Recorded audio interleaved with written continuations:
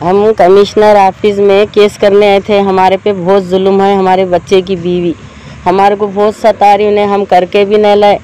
और हमारे को बहुत तंग कर रही, उन्हें ब्लैकमेल कर रही, पैसे दो बोली परसों हाथ जलाई किचन में, जला दी मेरे को। फिर कल चार शुम्बे के दिन साढ़े सात बजे मेरे को पीठ में मारी, दवाखाने में एडमिट करे थे मेरे को। इतना जुल्म दे रही, हमारे बच्चों को भी जीने नहीं दे रही, हमारे को भी नहीं।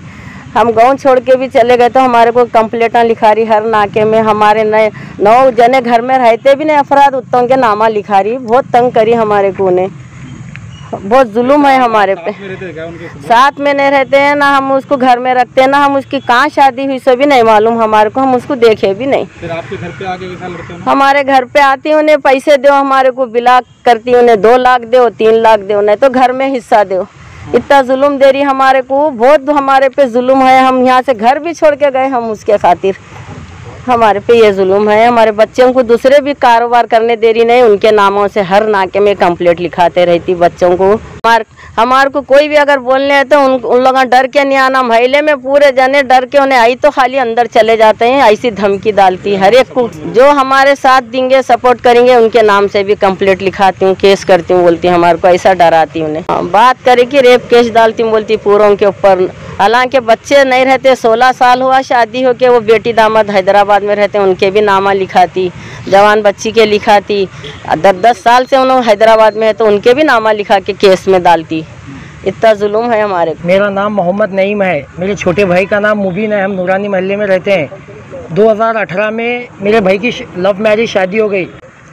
उसके बाद आज तक हमारे को उसका आता ना पता उन कहाँ रहती, किधर रहती, कोई मालूम नहीं। और उसके बाद क्या है मालूम है? हमारे माँ बाप के ऊपर जुल्म, मेरे ऊपर, भाइयों के ऊपर, सबके ऊपर ब्लैकमेल टॉर्चर करना, मेरे को दो लाख दो, तीन लाख दो, चार लाख दो और पूरे के पूरे जॉइंट फैमिली में नहीं है, पूरे फैमिली से अलग है। हम समझ, रोज़ा पुलिस स्टेशन में फेक केस किए, उसके बाद महिला मंडल में, महिला मंडल लेडीज़ में वहाँ पर भी फेक केस किए।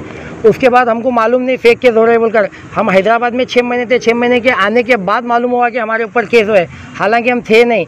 और मैं जब भी रोड पे कहीं दिखता हूँ तो मेरे को धमकी देती है, तेरे ऊपर रेप केस करता हूँ, तेरे के कपड़े फाड़ लेता हूँ, तेरे को तेरे को ज़िंदगी भर पुलिस स्टेशन में डाल देता हूँ, तेरे जेल में डाल देता हूँ, तेरे को तबाह करता हूँ, बर्बाद कर देता हूँ।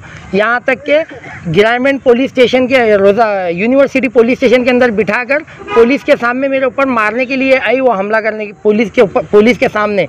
उसके बाद पुलिस भी कुछ नहीं किया लेडीज़ है बोली। और उसके बाद वो बोल रही थी, तू मेरा कुछ नहीं कर सकता, मैं तेरे को तबाह कर सकती हूँ, क्योंकि मैं लेडीज़ हूँ, मैं एक औरत हूँ। तेरे को कुछ भी कर सकती हूँ, बोलकर बोल रही थी।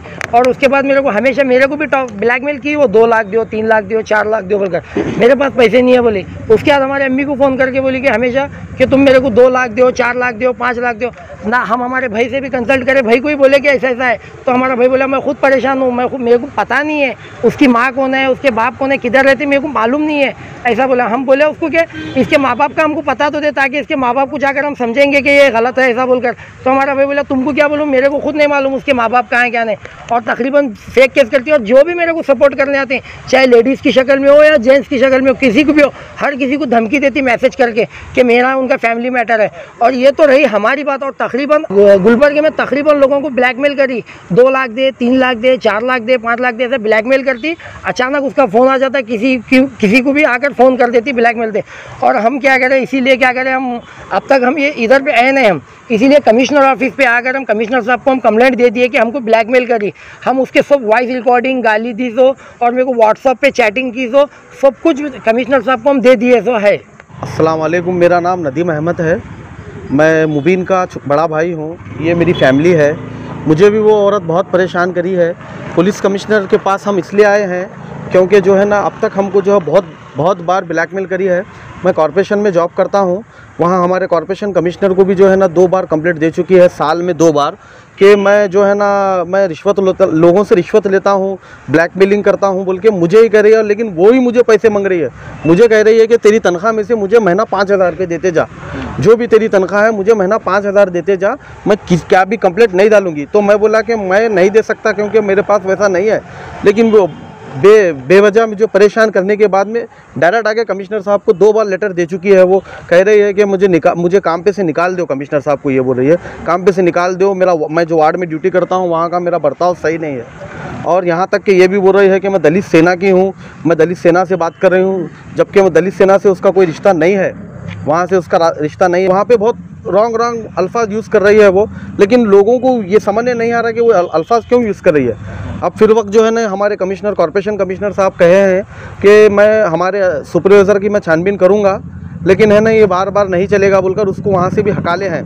तो ये बार बार का हर हर वक्त का चल रहा है, मुझे भी बहुत ब्लैकमेल कर रही है। हमें इंसाफ चाहिए, हम कमिश्नर साहब के पास आए हैं।